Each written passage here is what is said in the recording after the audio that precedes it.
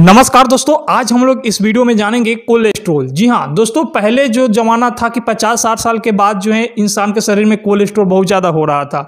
लेकिन इस समय दोस्तों, देखा जा रहा है कि 25 से 30 साल के उम्र से ही कोलेस्ट्रॉल हो जा रहा है। लेकिन क्या आप लोग जानते हैं कि इसके पीछे के कारण क्या है, जिसकी वजह से कोलेस्ट्रॉल हो जाती है? लेकिन दोस्तों, एक बात लोग एक बात याद रखिएगा कि अगर आपके शरीर में कोलेस्ट्रॉल होना तो ज़रूरी है, लेकिन ज़रूरत से जब ज़्यादा कोलेस्ट्रोल जब हो जाती है तो आपको क्या होता है कि हार्ट अटैक का प्रॉब्लम आने लगती है और सारे बीमारियाँ आपको आने लगती है। इसलिए दोस्तों, इस वीडियो में हम आपको हम बताएँगे कि कौन सी उपाय कर कर आप आसानी से कोलेस्ट्रोल को ठीक कर सकते हैं बिना दवा का, ठीक है? अगर आप उस उपाय को आप लोग करते रह रहे हैं तो आप लोग को शरीर में कोलेस्ट्रोल नहीं जमेगा, ठीक है? तो दोस्तों, आप लोग इस वीडियो को पूरा अंत तक ज़रूर देखिएगा, ताकि आप लोग समझ सके और आप लोग का कोई भी क्वेश्चन हो, किसी भी बीमारी के संबंधित, आप लोग कमेंट बॉक्स और इंस्टाग्राम पर पूछ सकते हैं। हम आपको मदद ज़रूर करेंगे, ठीक है? और आप लोग ऐसे ही वीडियो देखना चाहते हैं तो प्लीज़ आप लोग इस चैनल को सब्सक्राइब कर बेल आइकन दबाकर ऑल पर सिलेक्ट ज़रूर करिएगा। ऐसा ही वीडियो हम आपको समय समय पर हम देते रहेंगे। दोस्तों, आइए सबसे पहले हम लोग दोस्तों समझते हैं कि कोलेस्ट्रोल कोलेस्ट्रोल आखिर होता क्या है? ध्यान से सुनिएगा। दोस्तों कोलेस्ट्रोल है? जो वास्तविक पदार्थ होता है, ठीक है? यानी कि जिस तरह आप डालडा देखें ना, उस तरह होता है, ठीक है? आप स्किन पर भी आप देख रहे हैं, डालडा की तरह इसमें जमा हुआ है, ठीक है? यह जो है लीवर के द्वारा उत्पन्न होता है। यही दोस्तों, अगर ज़रूरत से जब ज़्यादा जब बढ़ जाती है तो इंसान के हार्ट अटैक की संभावना आ जाती है। यानी कि हार्ट का भी आपको प्रॉब्लम हो जाएगा, हार्ट का प्रॉब्लम हो जाएगा या बहुत ज़्यादा बढ़ जाएगा तो वही हार्ट अटैक आपको हो जाती है, ठीक है? लेकिन दोस्तों देखिए, हम लोग का शरीर में कहीं ना कहीं कोलेस्ट्रोल की ज़रूरत है, ठीक है? लेकिन कौन कोलेस्ट्रोल? तो गुड कोलेस्ट्रोल। कोलेस्ट्रोल का जो प्रकार होता है दोस्तों, दो प्रकार का होता है। एक होता है गुड कोलेस्ट्रोल और एक होता है बैड कोलेस्ट्रोल। गुड कोलेस्ट्रोल का शरीर में होना बहुत ज़रूरी है। अगर बैड कोलेस्ट्रोल बहुत ज़्यादा हो जाती है तो वही क्या होता है दोस्तों? हार्ट अटैक होने लगती है। लेकिन दोस्तों, कोलेस्ट्रोल होने का सबसे बड़ी कारण क्या होता है? यह जाना बहुत ज़रूरी है। देखिए दोस्तों कोलेस्ट्रॉल होने के बहुत सारे कारण तो नहीं होता है। नंबर वन हम आपको हम बता दे रहे हैं वो कौन सा कारण थे? वो होता है गलत खान पान और गलत लाइफ स्टाइल जी हाँ गलत खान पान और गलत लाइफ स्टाइल से दोस्तों क्या होता है कि शरीर में कोलेस्ट्रॉल जमने लगती है, ठीक है? यानी बहुत ज़्यादा आप चर्बी वाला चीज़ खाइएगा तो इससे क्या होता है? दोस्तों कोलेस्ट्रॉल दोस्तों इसमें बढ़ने लगती है, ठीक है? तो दोस्तों याद रखिएगा, गलत खान पान के मतलब क्या हुआ कि बहुत ज़्यादा मैदा वाला चीज़ खाना, इसके बाद डालडा बहुत ज़्यादा खाना, तेल वाला चीज़ ज़्यादा आप खा रहे हैं मार्केट का ईजा पिज़्ज़ा चाउमीन, जो भी चीज़ होता है, यह सब आप बहुत ज़्यादा खा रहे हैं। ड्रिंक उक पी रहे हैं कि कोई भी नाशा है, आप नाशा बहुत ज़्यादा करते हैं। इस सबसे दोस्तों कोलेस्ट्रोल शरीर को बढ़ता है, ठीक है? इसके बाद दोस्तों, अगर आपको मान लीजिए कि लाइफ स्टाइल में अगर दिक्कत है लाइफ स्टाइल का मतलब क्या हुआ कि अगर आप खाना खाएँ, जाकर सो गए, टहलते नहीं हैं, इसके बाद कोई भी शरीर से काम नहीं करते हैं, और जिसकी वजह से क्या होते हैं कि लाइफ स्टाइल गड़बड़ा जाता है, ठीक है? लाइफ स्टाइल गड़बड़ा जाएगा तो शरीर से क्या होगा कि कोलेस्ट्रोल भी आपको शरीर में बनने लगेगा, ठीक है? तो दोस्तों, यही है गलत खान पान और गलत लाइफ स्टाइल के कारण क्या होता है कि कोलेस्ट्रोल दोस्तों बढ़ने लगती है। इसके बाद दोस्तों, अगर आपको मोटापा है, ठीक है, मोटापा है, इसी की वजह से भी आपको कोलेस्ट्रोल बढ़ सकता है। अगर आपको मोटापा है तो उसको कंट्रोल करके रखना है, नहीं तो कोलेस्ट्रोल को बढ़ने में समय नहीं लगेगा।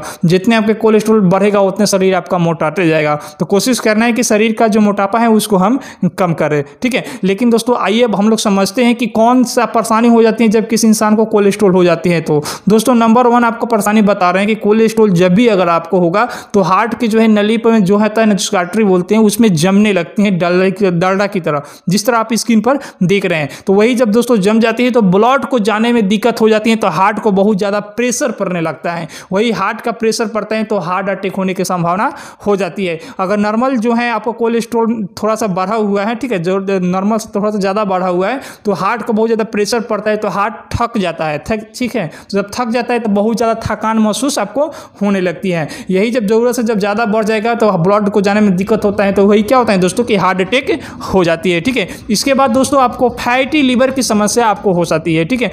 अगर आपको कोलेस्ट्रॉल बहुत ज़्यादा जम जाएगा तो आपको फैटी लीवर होने की संभावना हो जाती है, क्योंकि फैटी लीवर लीवर ही जो है ना, कोलेस्ट्रॉल का निर्माण उत्पन्न कर देती है, ठीक है? तो इसलिए दोस्तों फैटी लीवर और प्लस आपको हार्ट अटैक की संभावना बहुत ज़्यादा हो जाती है, ठीक है? तो दोस्तों अगर आपको फैटी लीवर है, उसके लिए वीडियो बना दी, उस वीडियो को आप लोग जाकर आसानी से देखकर आप लोग ठीक कर सकते हैं फैटी लीवर को, ठीक है? तो आइए हम लोग जानते हैं कि कौन सा उपाय कर आसानी से ठीक कर सकते हैं कोलेस्ट्रोल को, ठीक है? तो दोस्तों, वो कौन सा उपाय है? दोस्तों नंबर वन आपको उपाय बता रहे हैं, अगर आप आप ओमेगा थ्री आप खा रहे हैं ओमेगा थ्री अगर बहुत ज़्यादा आप डाइट में ले रहे हैं तो समझ लीजिए कि आपको हार्ट का प्रॉब्लम आपको नहीं हो सकता है कोलेस्ट्रोल एक्स्ट्रा नहीं हो सकता है, ठीक है?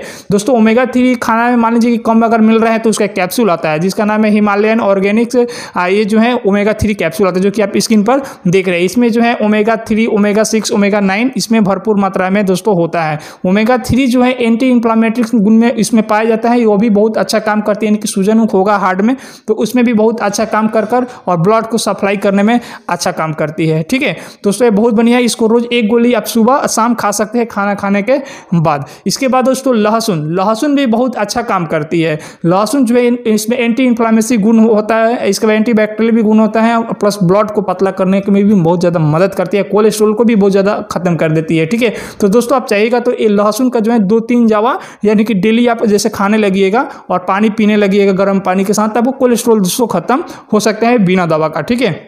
तो दोस्तों यह सब आप उपाय ज़रूर करिएगा। इसके बाद दोस्तों अगर आप चाहते हैं तो प्याज भी आप खा सकते हैं। खाने में अपना प्याज कर लीजिएगा, यानी डेली एक ठो प्याज आप खाने लगिएगा तो आपको समझ लीजिए कोलेस्ट्रॉल बनना ही नहीं है, ठीक है? बन भी नहीं करेगा। इसमें भी बहुत अच्छा गुण पाई जाती है कोलेस्ट्रॉल को जो है कंट्रोल करने के लिए, ठीक है? तो दोस्तों, आप ये जो उपाय हैं, जो बताए हैं इस उपाय को आप लोग आसानी से कर सकते हैं। तो अगर आप लोग दोस्तों कोलेस्ट्रोल से बचना चाहते हैं तो लहसुन, प्याज आप भरपूर मात्रा में खाइए, इससे आपको क्या होगा कि कोलेस्ट्रोल शरीर में बनने नहीं देगा। अगर नहीं बना है, बहुत एक्स्ट्रा जो है बैड कोलेस्ट्रॉल होता है, अगर नहीं बना है तो बहुत अच्छा काम आपको करने लगेगा, ठीक है? तो चलिए दोस्तों, हम लोग नेक्स्ट नेक्स्ट वीडियो मिलते हैं। नमस्कार जय हिंद जय भारत।